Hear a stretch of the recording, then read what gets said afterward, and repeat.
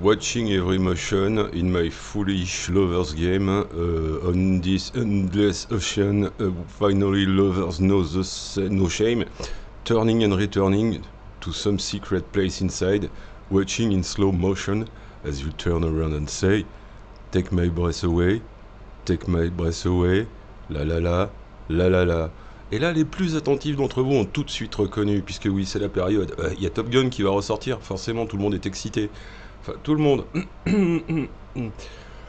Les gens qui ont jamais vu un Top Gun sont excités peut-être. Les gens qui ont vu un Top Gun, par contre, ils doivent se marrer, quoi. Enfin, on s'en fout, on va mettre des blousons d'aviateur, des lunettes de soleil, on va faire des wheelings avec des grosses cylindrées. Et surtout, surtout, très très important, on va faire une vrille au décollage de l'avion. Parce que si tu fais pas ça, t'es un tocard, t'es du niveau de Ice, quoi. Laisse tomber. Et comment on sait ce que ça vaut, Ice Ice, bébé.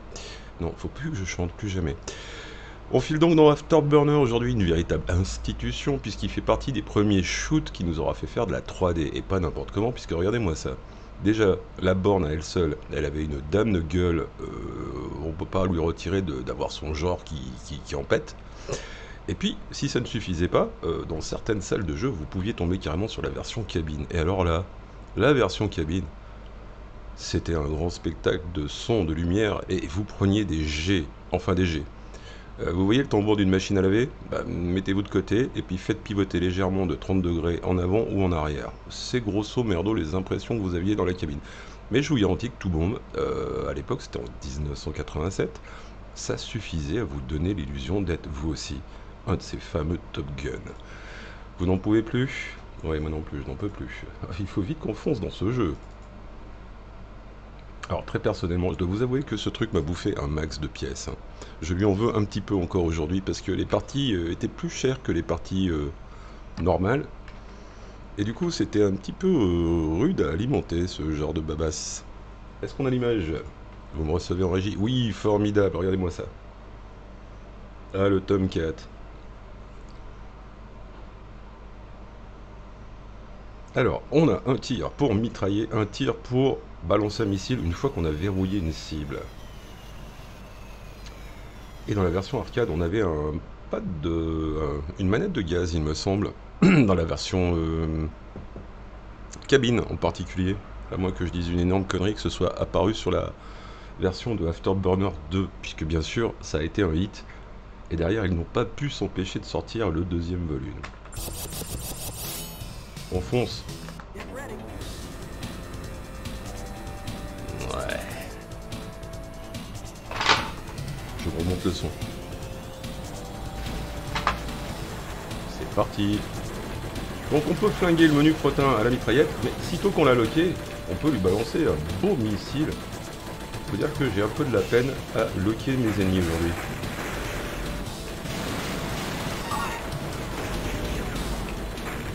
Vous me direz, monsieur K, monsieur K, pourquoi fais-tu des vrilles sans arrêt comme ça Bah parce que c'est le seul moyen que j'ai d'éviter ces damnés missiles.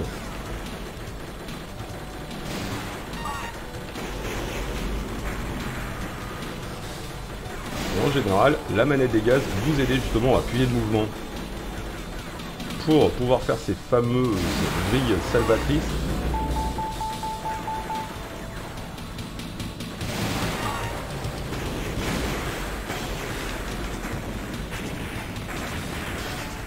Ne pas finir dans une boule de feu absolument formidable telle que je viens de le faire à l'instant.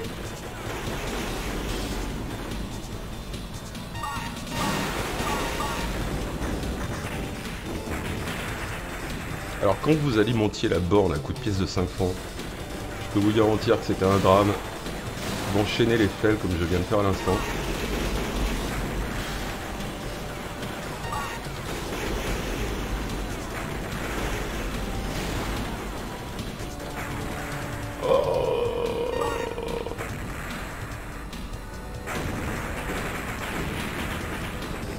Le crash final. Heureusement j'ai mis 260 000 crédits, donc je compte me battre jusqu'à ne plus en avoir.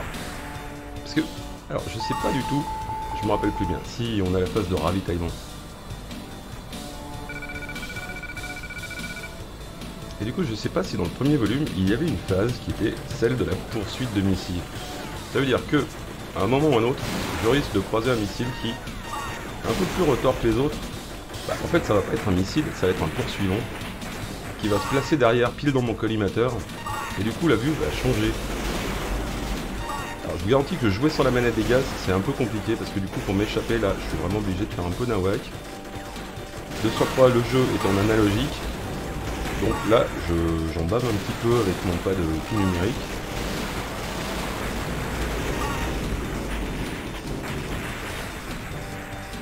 Et on ne verra peut-être pas la phase poursuite.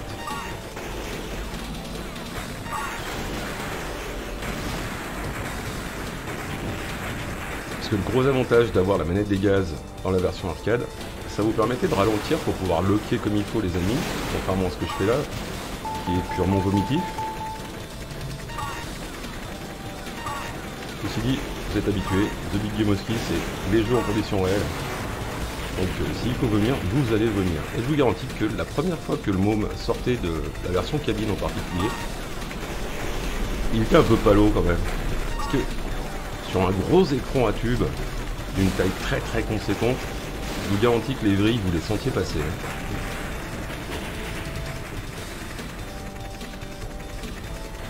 Donc ma recommandation, Afterburner, ne récupérez absolument aucune version sur micro. Non, non, non, non, non. Il faut que vous alliez à un event rétro gaming et que la chance soit avec vous pour vous faire voir une de ces bornes encore en fonction et que vous puissiez mettre les fesses dans le baquet et vous rendre compte par vous-même que c'était vachement plus sympa avec le contrôle analogique contrairement au caca que je fais là et que avec le gros son, bah mine de rien, ça le faisait pas trop mal pour un jeu de 87.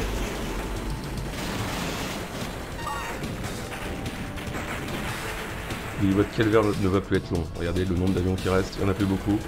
Je suis bientôt cuit.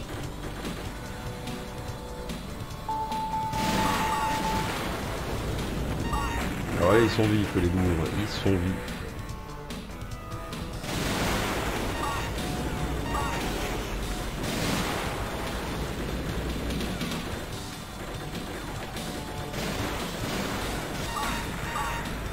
Celui-là, je l'ai bien mangé, comme on dit. Et je vais m'essuyer sur le paillasson.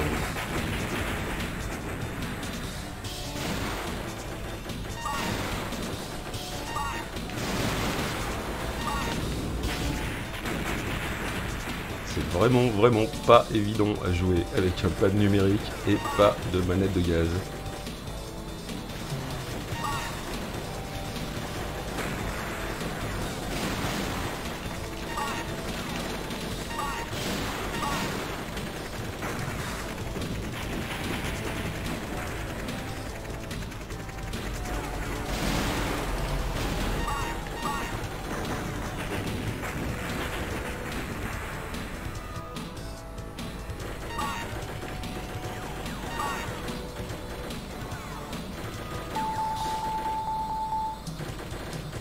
Crois qu'on peut se cracher dans les pylônes. Pas que les pylônes d'ailleurs. Alors la recette c'est tout le temps la même, hein. vu qu'à l'époque les machines n'étaient pas encore assez puissantes pour faire de la vraie 3D. La technique du strict zoomé, et là si j'avais la manette des gaz je pourrais ralentir pour me fausse filer, ce qui est absolument pas possible. Donc la, technique du strict zoomé était de vigueur. Et là je, peux pas jouer, c'est injouable sans la manette de gaz. Donc je confirme ce que je vous ai dit. Trouvez un event rétro gaming, trouvez cette borne, posez vos fesses dans la cabine et euh, faites-vous un petit trip. Et vous verrez que c'est vachement plus jouable que ça n'en a l'air sur cette version que, je vous montre. Et qu'il y a de quoi un petit peu triper. Ce, ce jeu a remporté un grand succès, c'est absolument pas pour rien quoi.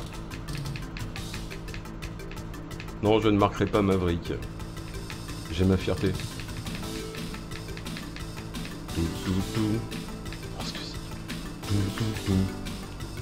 Inoubliable.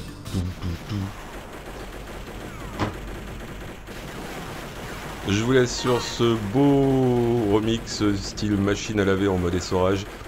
Et hop, une playlist généraliste, regardez. Et hop, une playlist sur les chemins, regardez. Et hop, un bouton d'abonnement. Avant que vous vomissiez, cliquez vite. Ciao